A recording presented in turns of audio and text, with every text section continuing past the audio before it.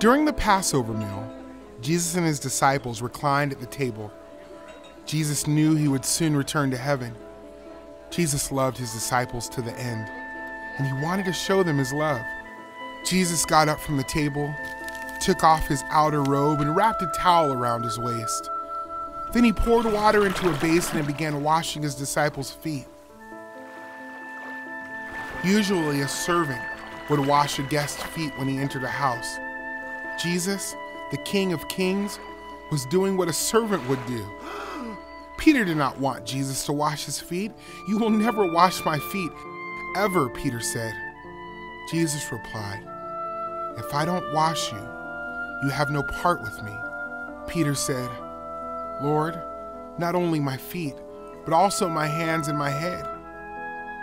Jesus told Peter that one who is bathed only needs to wash his feet because he is already clean.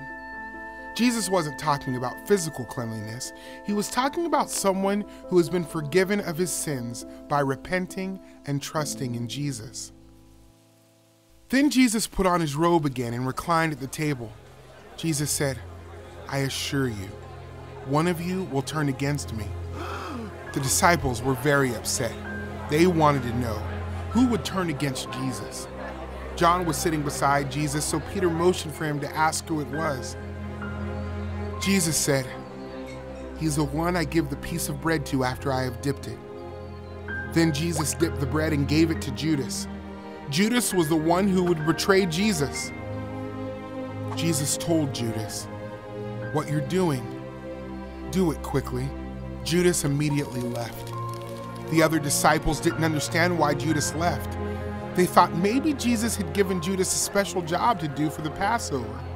After Judas left, Jesus told the disciples what was going to happen. Jesus said he was going away where the disciples could not follow him. The disciples didn't understand why Jesus was talking this way.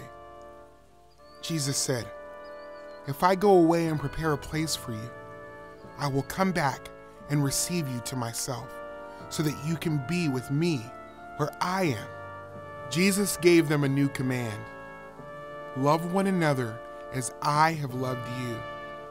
No one has greater love than this, than someone would lay down his life for his friends.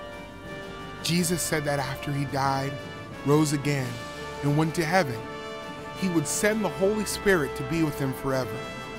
Then, Jesus prayed for his disciples.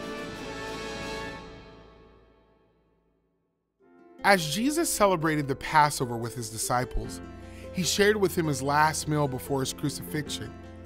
Jesus washed the disciples' feet, something that only the lowliest servant would do.